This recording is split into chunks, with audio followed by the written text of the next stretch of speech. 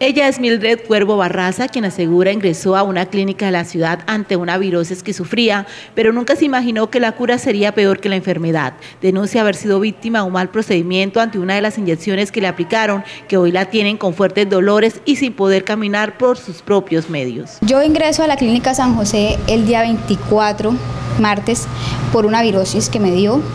entonces me sentía muy mal, fui a la clínica eh, efectivamente me atendieron, en la clínica me hacen un procedimiento, me colocan tres inyecciones, en la cual una me deja pues caminando coja porque me coge el nervio ciático.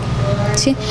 Yo, sé, yo el martes que me colocaron la inyección, yo sentí el dolor, se lo manifesté a la enfermera de turno que me colocó la inyección, la enfermera Viviana, yo le dije que eso me había dolido mucho.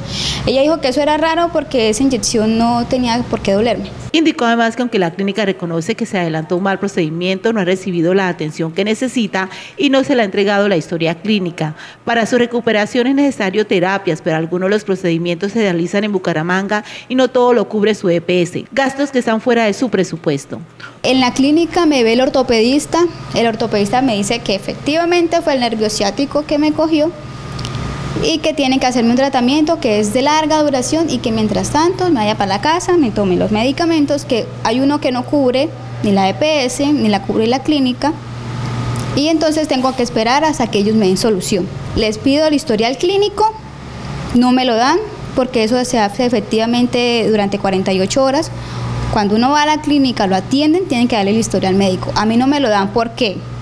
Porque yo les digo a ellos que yo los voy a demandar, que los voy a denunciar.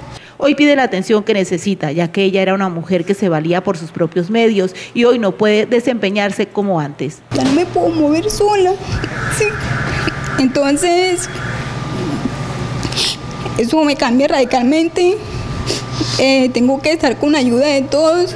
En la clínica no me dan solución, se hacen los de la oreja gorda, como que se asombra, en serio fue el nervio ciático y nadie dice más nada. Pido que me solucionen y que así como yo entré caminando a esa clínica, que me dejen igual, porque yo no me voy a quedar así, que me solucionen porque yo fui, fue para que me curaran, no para que me dejaran peor que como yo estaba. Espera una pronta respuesta por parte de la entidad correspondiente.